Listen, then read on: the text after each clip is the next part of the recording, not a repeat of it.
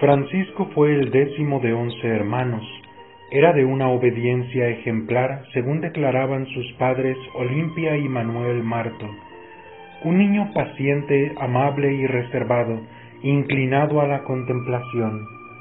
En los juegos aceptaba gentilmente la derrota e incluso cuando ganaba y sus compañeros se empeñaban en arrebatarle la victoria, él cedía sin chistar. Tenía también cierta tendencia al aislamiento y no le preocupaba si los demás tendían a dejarle un poco de lado.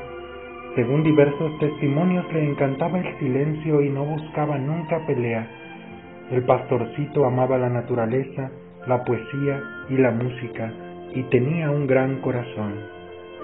La Virgen María durante su primera aparición el 13 de mayo de 1917 le predijo que iría pronto al cielo pero que antes debía rezar muchos rosarios, y eso haría el joven Francisco hasta su muerte el 4 de abril de 1919, a causa de una gripe española que él recibió como un don inmenso para consolar a Cristo Jesús.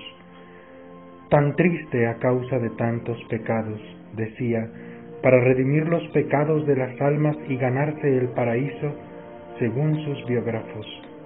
Un día, algunas señoras conversando con él le preguntaron sobre la profesión que le gustaría seguir de mayor. ¿Acaso carpintero? No, señora. ¿Soldado entonces? No, señora. ¿Quizás médico? Tampoco. Entonces, ¿te gustaría ser sacerdote, decir misa, confesar, predicar? No, señora, no quiero ser sacerdote. Bueno, entonces, ¿qué quieres ser?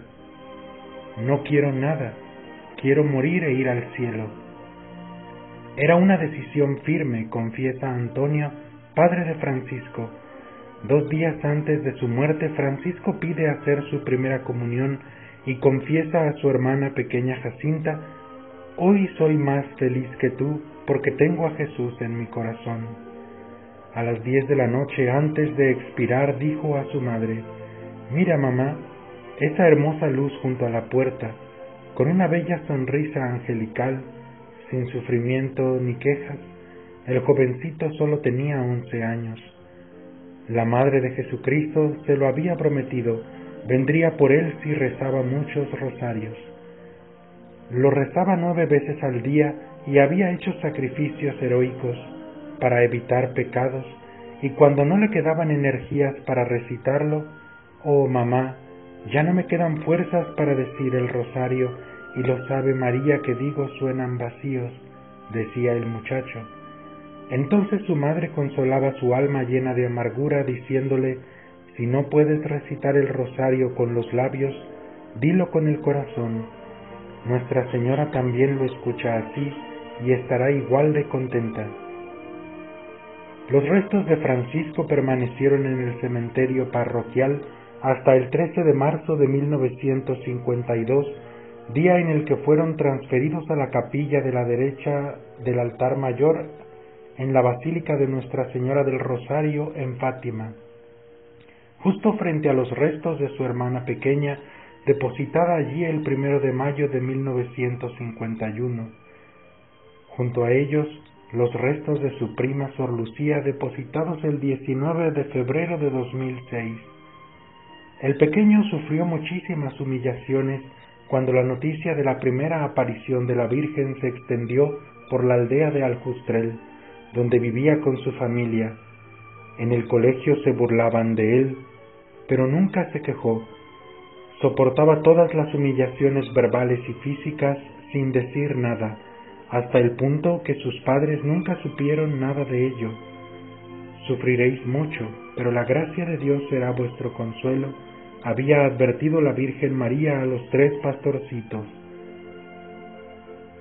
Diecisiete años después de la peregrinación de Juan Pablo II a Fátima en mayo del año 2000, cuando Francisco fue beatificado junto a su hermana Jacinta, el Papa Francisco regresa en 2017 para celebrar el centenario de las apariciones y proclamar el 13 de mayo de ese año la canonización de Francisco Marto y su hermana Jacinta. que los convierte en los primeros niños, no mártires en ser santos, y abre la puerta de beatificación a otros niños que igual han muerto en olor de santidad. El primer milagro sucedido por su intercesión y escogido para la beatificación de Francisco Marto fue la curación el 25 de marzo de 1987 de María Emilia Santos de Leiria, Portugal, parapléjica que recuperó la capacidad para andar después de rezar el rosario durante un retiro para enfermos en Fátima. El segundo milagro seleccionado para su canonización es la curación de un bebé portugués, Felipe Moura Márquez, que vivía en Suiza, diabético de nacimiento y declarado incurable.